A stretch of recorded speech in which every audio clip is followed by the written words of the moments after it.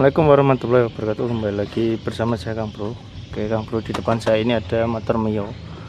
Ya motor Mio tadinya mati terus disuruh ganti aki Kang Bro. Diganti aki tetap motornya mati juga. Ini bukan akinya sebenarnya. Kalau untuk Mio dia akinya yang tipis tapi tinggi. Ini yang kayak untuk beat. Ya. Terus ini sampai di ininya sampai digergaji Kang Bro digergaji sini beh parah nih. Oke ya jadi motor ini ini sudah hidup sudah saya belum saya buka karbunya sih cuman saya buka di bagian vakumnya sini motor sudah hidup. Jadi tapi saya tidak akan membagikan pengalaman mengenai motor yang mati terus dihidupkan enggak karena motor ini uh, penyakitnya enggak parah sih jadi intinya motor hidup ada pengapian ada kompresi ada bahan bakar tapi enggak mau hidup ya cuman masalah di karbu. Tapi di sini saya mau membagikan tentang karbu vakum yang lambat turun kan sering teman-teman dapat ya. Dulu sudah pernah saya videokan motor Suzuki kalau nggak salah saya kasih baut di bagian dalam. Seperti motor Mio saya saya kasih baut di dalam. Alhamdulillah aman. Beberapa sampai sampai 10 tahun pun motor nggak ada masalah itu ada bautnya di dalam. Walaupun di komentar banyak yang pro dan kontra ya terus di sini saya membagikan lagi mengenai motor yang apa ya eh, lambat turun gas ya. Contohnya motor ini itu termasuk lambat turun gas. Saya coba nyalakan dulu. Nah, ini gasnya nah mati ya kalau kita setel tinggi nanti begitu nyala sekitar satu menit gasnya tinggi gitu. Kalau kita kecilin nggak mau langsam kayak gitu ya.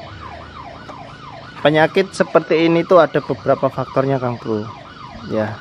Kalau dia disertai kayak bunyi jebut-jebut kayak gitu ya itu biasanya di bagian klep sini. Klepnya itu sudah mulai kotor atau bergerak ya. Udah waktunya disekir dibersihkan. Untuk jenis Matic Mio ini termasuk dia memang ya nggak Mio aja sih yang jenis-jenis karbu lah ya. Yang kayak Mio Beat uh, terus Suzuki ya kayak Ski Wave Ski Drive itu sering dia bunyi cepet-cepet-cepet kayak gitu. Karena klep itu memang mudah kotor jadi uh, memang harus sering-sering diskir karena motor jenis kayak gini kan termasuk tergolong motor boros. Jadi di ruang bakar itu uh, gampang bergerak. Jadi klep itu mudah bocor. Itu yang pertama kalau turun gas tapi nggak pernah bunyi cepet-cepet kayak gitu itu bisa diakibatkan si vakumnya. Vakumnya ini yang bukan original. Contohnya motor ini. Saya melihat di motor ini tuh karburatornya masih original tapi vakumnya sudah nggak original. Nah vakum yang nggak original tuh kayak gini. Kita angkat dia masih berbentuk seperti ini kaku. Ya. Kalau yang ori yang bagus itu dia lentur kayak balon tipis gitu tipis kayak molor tapi dia memang fungsinya bagus ya. Karena kalau dia tipis dia itu gini Bang Bro. Kalau tipis itu itu di RPM bawah misalkan di 3000 naik ke atas itu dia sudah bisa naik. Ini ini sudah bisa ngembang ya. Misalkan langsam ya. Kita gas sedikit ya. Kalau orang lari motor itu sekitar lari 20 30 gitu ini langsung ngembang kalau vakumnya lentur dan original. Ya itu sudah ngembang vakumnya ini udah ngembang tapi si skepnya ini belum naik. Skep ini belum naik. Nah, nanti di kisaran kita lari 50-an mendekati 50 lah ya. 40-an ini sudah mulai ngangkat si vakum nih mulai ngangkat ke atas. 50 60 70 terus yang ngangkat kalau vakum yang kaku kayak gini yang bukan original itu biasanya itu kita gas ya digas itu sampai 40-an itu masih belum ngangkat baru ngembang di sini ngembang. Ya ini kaku ini tergolong kaku kayak gini. Nah, jadi kalau yang kaku itu masangnya enak tinggal gini plug gitu aja kalau yang original yang lentur itu masangnya susah. Dia harus di susun gini kadang masih ngelepet-ngelepet kayak gitu susah. Terus yang kedua itu di bagian ininya aus di bagian skepnya sini. Biasa mungkin anda sering lihat motor metik ketika kita servis ada kayak goresan goresan di bagian samping sini.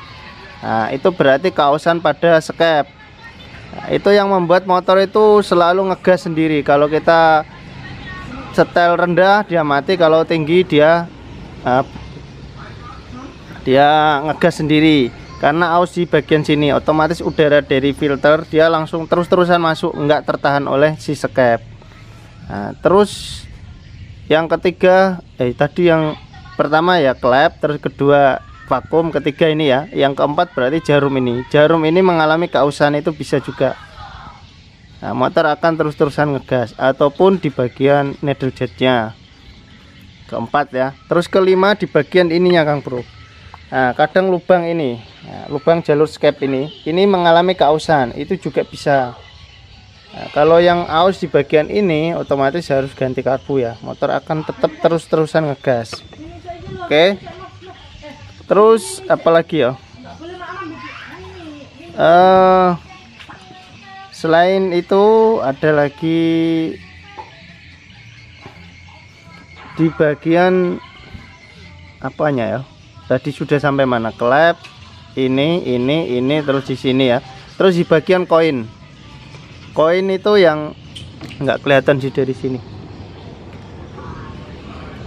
dia terhubung ke ini loh Kang Bro ke tali gasnya ini dia terhubung ke tali gas ini jadi ini kan kalau digas nah ini kan membuka koin. Ada koin yang kayak kupu-kupu itu. Nah membuat membuka koin. Nah ini kan membuka tutup koin. Nah koinnya itu nggak mau nutup rapat. Sudah mulai aus. Itu bisa menyebabkan motor itu ya nggak mau digas. Eh nggak mau digas. Nggak mau turun gas. Gasnya bandang. Nah, karena kebocoran udara tetap masuk. Kayak gini ya Kang Bro. Ini lihat ya. Ini kan vakum bukan original KW karetnya kaku. Ininya plastik. Ini plastik bukan aluminium. Jadi yang jelas beratnya juga ringan ini. Nah ketika motor langsam ketika ini posisi seperti ini motor dinyalakan langsam. Ini kan belum keangkat vakumnya belum keangkat ke atas. Si ini si skepnya ini kena udara yang masuk. Ya RPM mulai naik. Dia sudah kayak pengen ngangkat itu biasanya seperti itu kalau KW kayak gitu. Dia nggak tenang gini kecuali kalau yang original dia tenang walaupun di sini udah gelembung di sini. Nanti begitu RPM tinggi begitu udara banyak yang masuk langsung dia ngangkat set kayak gitu. Kalau ini RPM masih belum terlalu tinggi dia sudah rasa-rasa pengen naik. Nah kayak gitu. Perbedaan vakum yang ori dan KW. Makanya diapa-apakan yang ori dan KW itu jauh perbedaannya jauh sekali. Walaupun kadang ada yang KW kan murah ya 50 sampai 70 udah dapat. Original 150an ke atas. Itu itu biasanya ada yang ininya aja ada yang plus ininya. Oke? Jadi kayak gitu. Ini lihat ya ini kan plastik ya lihat motor ini. Saya masukkan ke bagian karbonnya lihat. Ya ini kan masuk ya. Lihat ini di, di lubang sini udah kocak. Nah kita masukkan kayak gini di lubang bagian ini. Itu enggak ngepres kayak gitu enggak udah kocak. Yo ada sepilingnya memang tapi enggak sebanyak ini. Ini ya yang menyebabkan motor ini tuh gasnya agak agak lambat turun. nah, kalau misalkan kita kasih baut gimana Kang Bro di sini? Kalau penyakitnya seperti ini kocak di bagian skepnya walaupun kita kasih pemberat di bagian sini dia tetap tetap akan ngegas terus. Percuma karena udara juga tetap bocor. Ya satu-satunya yaitu untuk mengatasinya ya ganti skep yang ori yang aluminium ya ataupun ganti karbu kayak gitu kalau sudah penyakitnya di sini. Eh kita lihat ya ini untuk untuk pengalaman aja. Ketika motor dinyalakan itu langsam kondisi ini apakah naik apa enggak? Ya kan kita gas sedikit naik apa enggak? Kita lihat ya saya akan nyalakan.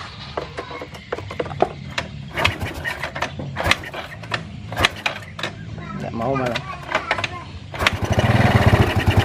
Nah ini posisi langsam kayak gini. Kalau saya gas sedikit lihat ya lihat ya. Di sisi ininya baru ngembung. Nah lihat li, lihat ini Kang Bro. Ini posisi langsam aja. Tak zoom ya. Posisi langsam skepnya udah kayak mau naik-naik. Nah lihat ya. Itu lihat karetnya naik turun. Karetnya ini. Ya. Nah karetnya ini kan naik turun padahal posisi langsam. Yang jelas kan ini kan enggak nah kayak gini ya yang jelas kalau kita ibaratkan tuh kayak gini. Enggak dia nggak bisa diam. Dia naik turun kayak gini. Ini posisi langsam aja. Tapi ketika saya tarik gas dia nggak mau naik. Harusnya kalau kalau original dia diam langsam. Tapi kalau kita tarik gas RPM tinggi ngeng gitu ya dia langsung set naik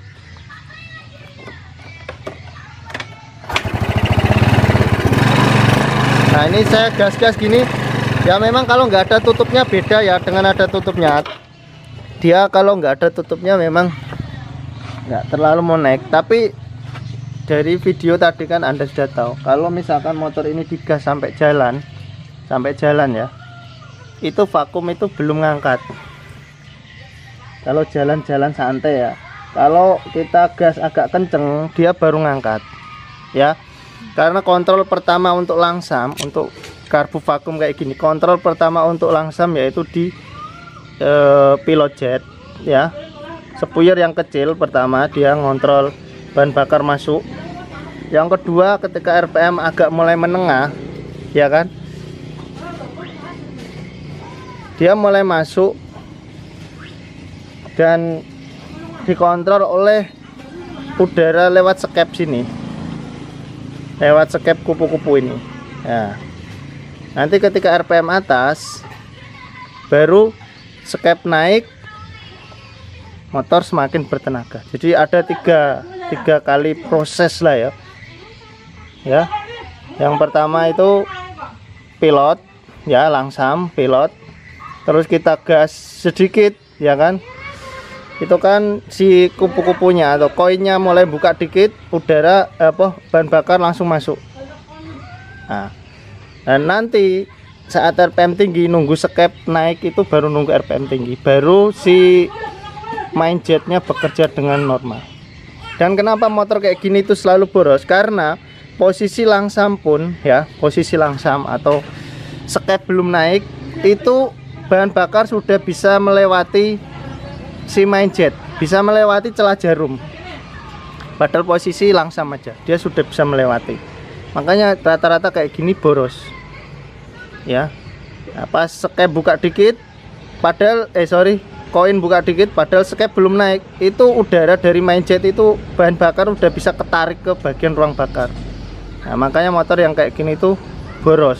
Kalau kita gas lebih kenceng skep lebih naik ke makin boros kayak gitu ya penjelasan mengenai kayak gini.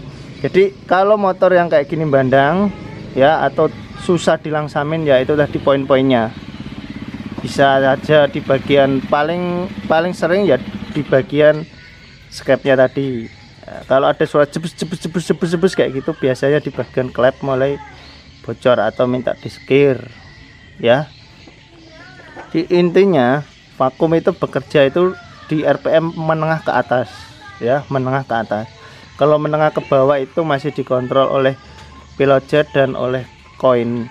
Gitu aja dulu semoga video bermanfaat. Wassalamualaikum warahmatullahi wabarakatuh